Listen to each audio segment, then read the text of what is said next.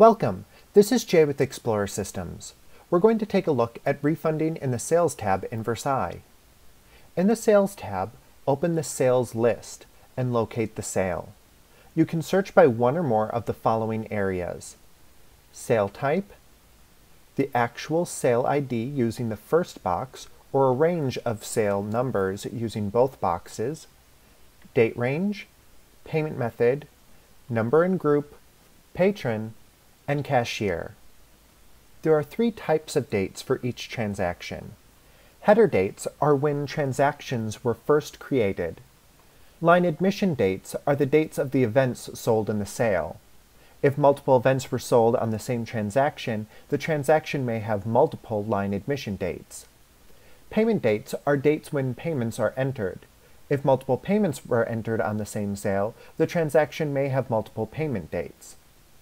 Depending on the transaction, all three types may be the same or all three could be different. Once you find the transaction, open it.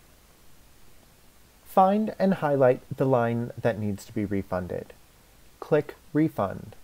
Depending on the configuration of the permission type assigned to your user account in the Admin tab, you will be prompted to have a manager enter an override code. Repeat these steps for each line that needs to be refunded. To refund the entire sale, refund all the lines. If you oversold a line, such as selling 3 when you should have sold 2, refund the line of 3, and then resell the line with the correct quantity of 2. Versai will calculate the difference in price for you. Once the necessary lines are refunded, click Enter Payment or Finish to enter the refund payment, which will show as a negative balance. Your institution will have a policy about which payment methods can be used for which refund circumstances. If the refund is large or going to a school or organization, your finance office may prefer to issue a check. In this case, you'll be advised how to record this.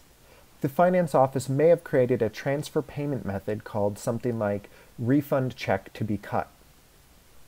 Once you've issued the refund, you can exit the sale.